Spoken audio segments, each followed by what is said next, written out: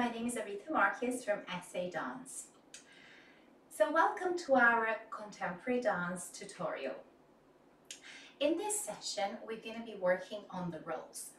So it's really important in contemporary dance that we learn how to roll down through the spine and roll back up with the correct technique. So we're going to stand to the side. We're going to have our legs hip distance apart, nice strong with the body, belly button going up, tailbone going down, shoulder blades go down.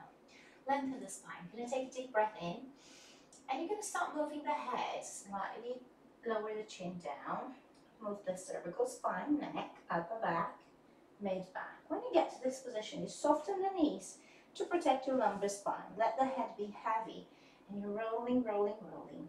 The weight wants to go back to the heel and keep working on the weight coming to the front of your feet, to the toes. Relax the head. Move your head to the side to release tension of the neck and shoulders and to the other side. Make sure the weight is on the balls of the feet. We're going to roll up and rolling up. We're going to soften the knees. Going to think about belly button going up to the spine and keep your eyes towards your belly button. Relax the shoulders and rolling each vertebra time, bone by bone by bone, all the way up. And once you're up, open the chest, rise to find your core, your balance, your center. Just push the shoulders down and top of the head growing tall up to the sky and slowly working through lowering down that feeling of pushing the heel down while the spine has the energy moving upwards. That's the roll for the beginners. Once you progress, it can be done slightly different. Another important thing is to learn how to do contractions. So in contemporary dance, when we do our contractions, we want to tuck the tailbone under and bring your belly button towards you. So in this movement here, you're going to go ah, exhale. Engage the deep layers of your abdominals, pelvic floor and transversus and get that tilt of the pelvis, the pelvis coming up. Very careful that sometimes people release the shoulder forward, don't let that happen. It's like the movement is coming from the pelvis going up and the tailbone going down. And it's usually done with an exhale. That looks much better. So you go like that. And you can move the arms forward and back up. Go and roll. Exhale and roll exhale. And roll. Make sure you feel the core working. Exhale. And. We also want to learn in contemporary dance how to do our nice flat back.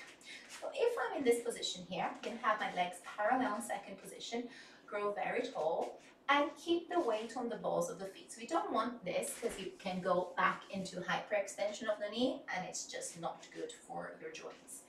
Pull up nice and tall, keep the weight on the balls of the feet and you're going to move forwards here. Going to reach the arms up and over and bring it up. That's it. Now lengthen the top of the head away from the tail. Sometimes people get to leave the head up and you've got to be very careful so it doesn't um, strain the neck. So keep lengthening the back of the neck, chin in slightly, engage the core. And here we're going to open the arms and you're going to bend, plie, and stretch. That's it. And plie, keep engaging your core, don't drop it. Stretch, keep the weight on the balls of the feet, don't let it go back. And plie, and stretch, engagement of the ribs, and plie, and stretch. Reach the arms up and over all the way down for a stretch, tailbone up to the sky, bend the knees and just roll like we've done the first one. So of course we can put all of this together in a warm-up. So we could go rolling through the spine, rolling back up, exhale, contraction, release, contraction, release and contraction, release, arms up, reach forwards, lengthen the spine. Open the arms, flat back, engage the core, plie, and stretch. Feel the stretch on the hamstring and gluteus, plie, and stretch, plie, and stretch. Release it down, rolling up. Alright, if you enjoyed our beginners tutorial, three very important exercises that we do in contemporary dance. And if you would like to learn more, get in touch with us, SA Dance in the UK, Stage Art Dance. If you send us a message or drop us an email, we'll be able to find the right class for you and for your level. We offer classes from for beginners, intermediate and advanced, children and adults. Thank you.